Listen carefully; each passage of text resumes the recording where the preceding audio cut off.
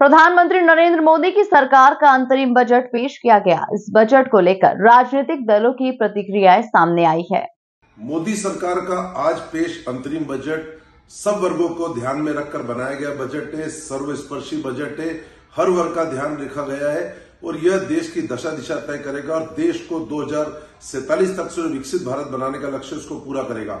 इसमें हर वर्ग का ध्यान रखा गया, इसमें जहाँ गरीब का ध्यान रखा गया, वहाँ किसान का, महिलाओं का, मिडिल क्लास सबका ध्यान रखा गया। है जिस प्रकार से इंफ्रास्ट्रक्चर का बजट बढ़ाया गया है, जिस प्रकार से नए एयरपोर्ट की बात की गई है, जिस प्रकार से चालीस हज़ार जो रेल कोच है उन्हें वंदे भारत कोच में बदलने का निर्णय लिया गया, यह देश की दशा दिशा तय करेगा, देश को विकसित भारत बनाने में निर्णायक साबित होगा।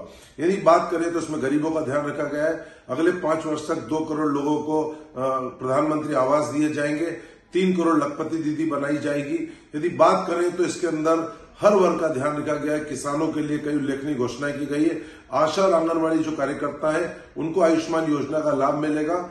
निश्चित तौर पर इस बजट से देश जो है, विकसित भारत का जो संकल्प है, उसको पूरा करेगा। यह बजट अंतरिम है। जुलाई के अंदर मुख्य बजट मोदी सरकार का पेश होगा, लेकिन यह बजट सर्व सर्वस्पर्शीय, हर वर्ग का ध्यान रखने वाला बजट है और यह देश को विकास के पथ पर आगे ले जाएगा।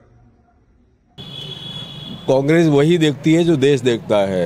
ये दसवां बजट है मोदी सरकार का। नौ बजट जिस तरह से एक इवेंट के रूप में साबित हुए देश के लिए, दसवां बजट भी कमोवेश वैसे ही हुआ। न युवाओं के रोज़गार की कोई बात हुई, न किसानों को राहत देने वाली कोई बात हुई।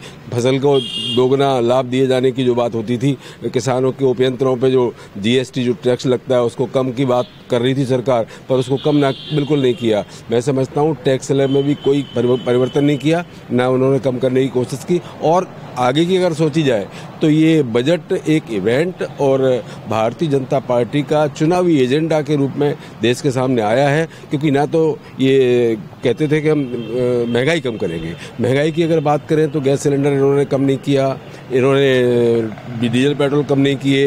क्रूड ऑयल की कीमत बहुत कम होने के बाद भी ये देश में हमको डीजल, पेट्रोल इतना महँगा मिल रहा है, इसलिए ट्रांसपोर्टेशन के बढ़ने की वजह से हमें रोज़मर्रा की चीज़ें भी बहुत महँगी मिल रही हैं। मैं समझता हूँ चुनावी आंकड़ों के अलावा, आंकड़ों की बाजीगरी के अलावा इस बजट में देश के लिए कुछ भी नहीं है। देश जहाँ खड़ा था, वहीं खड़ा है।